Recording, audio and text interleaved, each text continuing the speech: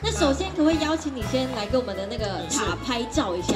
跟 我说粉面塔，讲到塔，大家都很忌讳啊。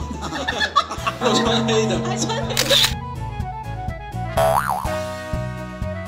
徐主持人好，先来鞠躬，感谢你们啊，来参加我们输不起拌面的记者会。大家应该蛮好奇，为什么你会取名这个“输不起”这三个字？输不起呢？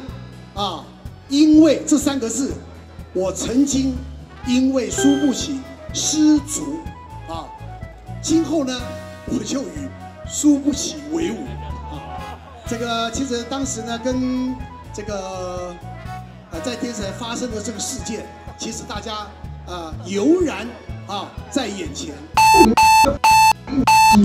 事情是发生的，就是我的错，就是呃，虫虫说。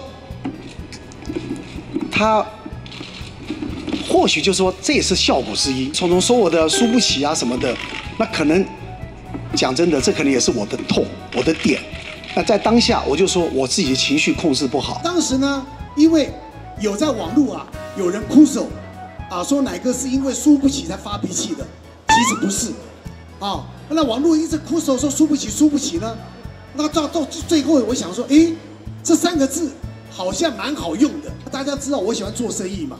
其实我注册注册蛮多品牌的，啊，我就把这“输不起”三个字呢就注册起来，但是一直没有用，也没有找到机会用。其实拌面的只是我们这个开头了，我们将来希望能够把这“输不起”三个字呢，能够什么变成一个精神。我常讲啊，输不起有两个面相，一个呢就输不起耍赖，不服输的那种输不起，啊。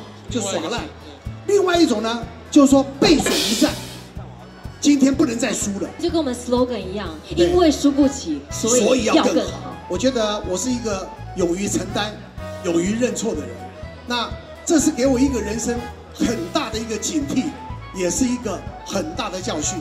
我想，啊，人呢，只要勇于认错、勇于承担、勇于面对。我觉得人生呢都是光明磊落的。大家都这样对吧？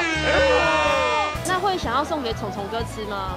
不，其实我跟你讲，很多人说你要不要记者会来讲？我说啊，我们不要再用这个去啊借由虫虫再来做这些文章，我觉得都不好。发生这个事情对我来讲就是一个人生很大的警惕，很大的教训。所以说谢谢他才有这个品牌这样。真的啊，啊，真的很好啊。